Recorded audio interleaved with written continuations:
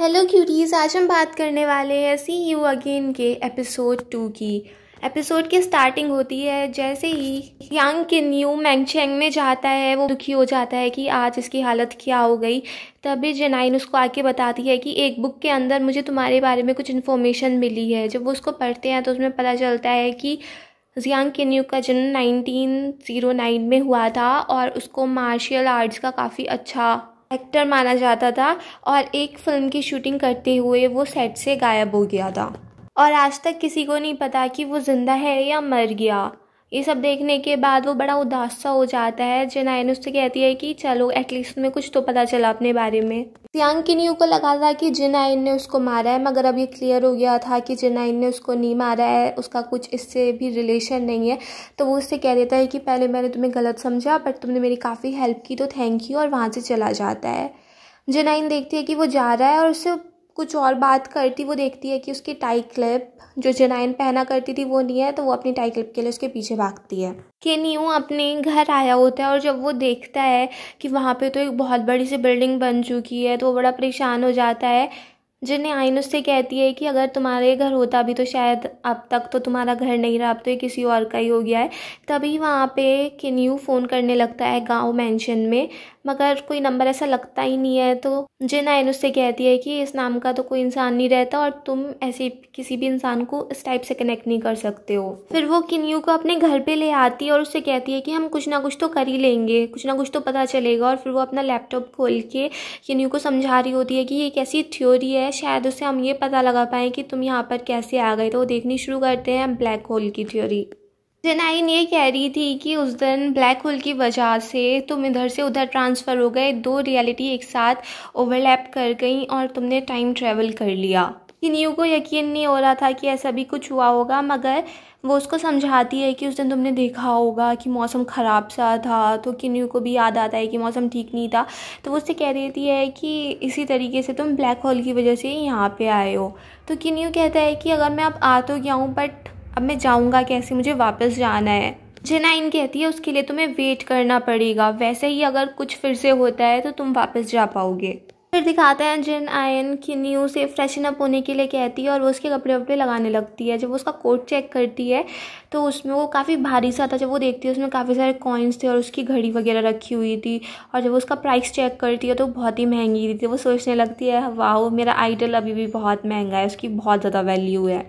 फिर वो अपने हीरो के लिए बहुत अच्छे से रूम सेट कर देती है, डेकोरेट कर देती है और इतने वो अंदर ना आ रहा था तो उससे कंट्रोल नहीं हो रहा था।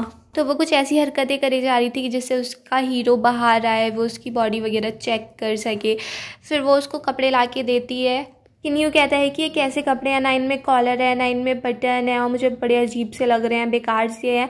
मगर वो उसको समझा देती है कि नहीं, ये आजकल का ट्रेंड है और इसमें तुम तो बहुत अच्छे लग रहे हो। फिर किन्यू जेनाइन से उसका प्रोफेशन पूछने लगता है। अब जेनाइन उसको रियलिटी क्या बताती कि वो ऐसी छोटी मोटी राइटर है जिसे लोग ऐसी पैसे देते रहते हैं दूसरों की वीडियोज़ पे कमेंट करने के लिए, उसका कुछ आजकल फ़ायदा नहीं हो रहा है। वो आजकल कुछ प्रॉफिट नहीं कमा पा रही है। तो उसको ऐसी काफ़ी सारे बहाने बता देती है कि मैं एक बहुत बड़ी आर्टिस्टिक क्रिएटर हूँ और काफ़ी नाम है मेरा यहाँ पे। मैं लिटरेचर वर्क करती हूँ नॉवेल्स वगैरह लिखती हूँ। तो इसे सुन के किन्यू को लगता है कि वाकई में काफ़ी अच्छी लिटरेचर गुरु टाइप है। और वो देखता है कि जनाइन ने उसके काफ़ी सारे फ़ोटोज़ वगैरह रख रखे हैं। रात को जनाइन सोच रही थी कि एक दिन मैं टॉप स्क्रीन राइटर बन के रहूँगी।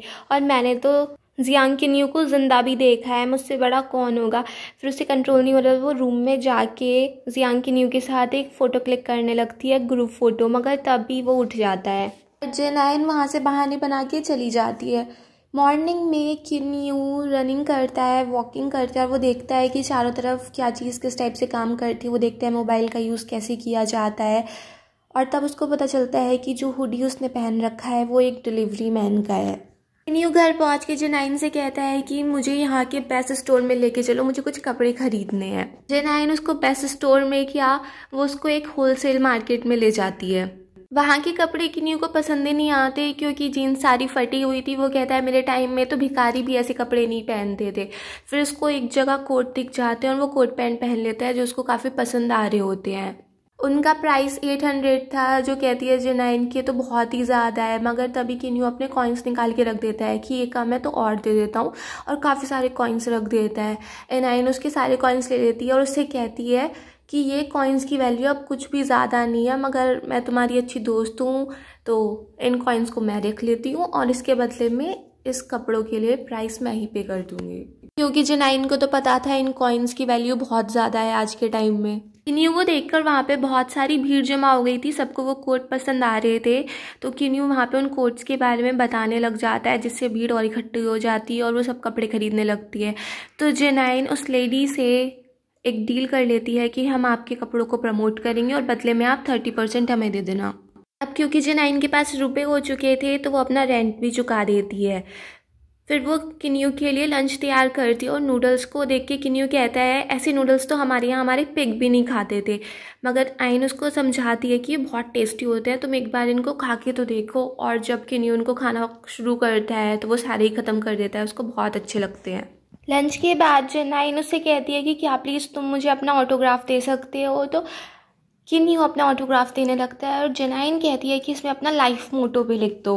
किन्यू बताता है कि उस मूवी की स्क्रिप्ट में ये लाइन मेरी थी नहीं। मेरे एक फ्रेंड ने बोली थी तो मैंने ये लाइन यूज़ कर ली और ये काफ़ी अच्छी रही। जिसे सुन के जेनाइन को बहुत ज़्यादा गुस्सा आ जाता है, वो ऑटोग्राफ छीन के अंदर चली जाती है और बैठ के रो रही होती है।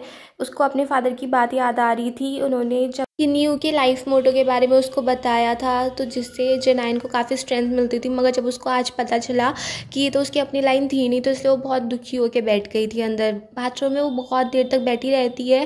बाहर से किन्नी उसको आवाज़ भी लगाता है कि बहुत टाइम हो गया है, बाहर आ जाओ और मुझे कंप्यूटर चलाना सिखा दो। नाइन एक पेपर पे इंस्ट्रक्शंस बना देती है और उससे कहती है, इन्हें देखते रहो और समझते रहो, खुद ही चला लो। मेरे पास टाइम नहीं है, मैं सोने जा रही हूँ। तो उसको लेक्चर देने लगता है कि किसी भी इंसान का हिसाब उसके डेली रूटीन से पता चल जाता है और यंग लोगों को ऐसा नहीं करना चाहिए। मगर नाइन उसकी सुनती नहीं है और उसको रूम में भेज देती है। न्यू लैपटॉप स्टार्ट करने की कोशिश करता है बट उससे हो ही नहीं रहा था। वो काफ़ी ट्राई कर रहा था। फिर उसको याद आता है कि कैसे नाइन ने कहा था कि अगर कुछ समझ में ना आए तो रोबोट की हेल्प ले लेना। दूसरी साइड दिखाते हैं एक्टर ली लॉन्ग को ब्रदर हु कह रहे होते हैं कि चीयू का तो कुछ आजकल अता पता है नहीं, अब इस कंपनी के लिए हमें इन्वेस्टमेंट भी चाहिए। तो तुम एक काम करो, अगर तुम पैसे ले आते हो तो मेन एक्टर में तुम्हें ही बना दूँगा। और चीयू का तो कुछ अता पता नहीं चल रहा है। इतनी सारी पुलिस भी भेजी गई। पता नहीं उसने किसको ऑफेंड किया था कि वो गायब ही हो गया। एक्टरली साइन कर देता है और वो कहता है कि ये सब मैं सिर्फ़ चीयू के लिए कर रहा हूँ। अगर वो भी नहीं है तो मगर उसके लिए मैं ये मूवी खुद ही फिनिश करूँगा। फिर जैसे वो बाहर आता है, उसको थोड़ा पानी दिखता है और उसको वही सीन याद आ जाता है कि कैसे चीयू को मारा गया था और वो पानी में गिर गया।